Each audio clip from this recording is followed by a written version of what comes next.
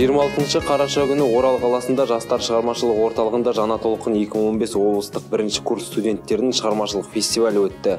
Фестивальге қатысушы жастар дәстүрлі халық әнін шырқап күй шертіп қобыз скрипка мен домбыраның үнін үндестіріп өздерінің өнерлерін ортаға салды. Оған қоса бірнеше университет атынан шыққан жайдары жайдарман әзілкештері студенттік өмірдің қызығы мен шыжығын араластырып көрермен қауымының езуіне күлкі сыйлады. Облысымыздың ғана емес қаламызға білім нәрімен сусындауға келген еліміздің өзге өкілдерінен дарынды студенттері осындай игі шаралардың өткізіліп тұратынына және де жайықтың жағасында орналасқан орал қаласының шынымен де жастардың білім мен салауатты салиқалы өмір сүруіне барлық жағдай жасалғанына ризашылықтарын білдірді. Дарынды әзілкештердің арасындағы өлкемізге ақтөбеден келіп білім алып жүрген аянға жалпы орал қаласы да кештің ұйымдастыруы да ұнапты.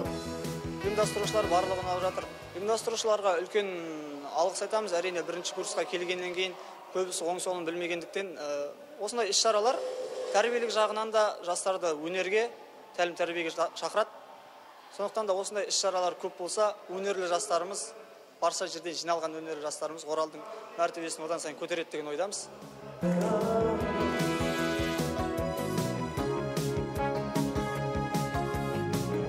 Ал осындай кереметтей шараны жастарды әрдайым қолдап жүретін батыс қазақстан облыстық жастар саясатының мәселелері басқармасының және ғасыр жастар қоғамдық бірлестігінің қолдауымен оздырылып отырғанын еске сала кетейік. Фестивальдің негізгі ерекшелігі облысымыздағы университет студенттерінің арасындағы достық пен құрметті күшейту дейді сахиев болатбек жеткергенұлы.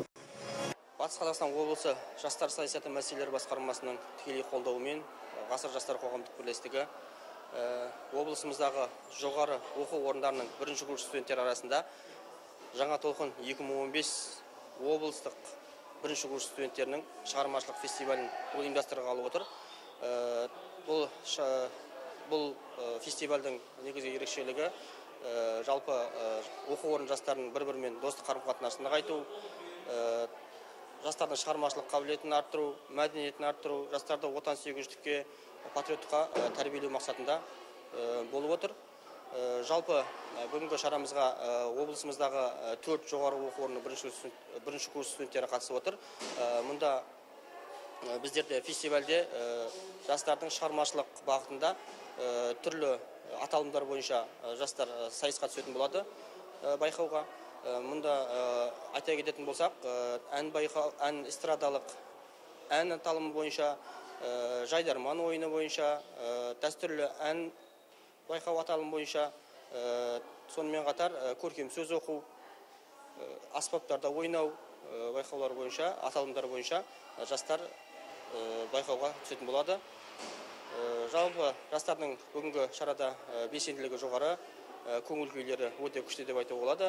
Э, осындай бұл э, жаңа толқын 2015 байқауы келесі жылда жылдан жылға өз жалғасын табатын болады. Яғни бұл бірінші курс жастарының студент жастарының ең оқу орынға қабылданғаннан кейінгі өзінің қабілетін көрсету яғни соның ішінде талантты жастарды анықтау және оларға қолдау көрсету мақсатында бұл шараның маңызы өте зор деп айта аламын. Осындай жалынды да дарынды жастарды қолдап олардың білім алуына және болашақ өмірлік жолдарын табуы үшін аталмыш шаралар үлкен көмегін тигізу әбден мүмкін. Жастар еліміздің болашағы деп елбасымыз нұрсұлтан әбішұлы назарбаев айтқандай елімізге еңбек етер жастарымыз аман болғай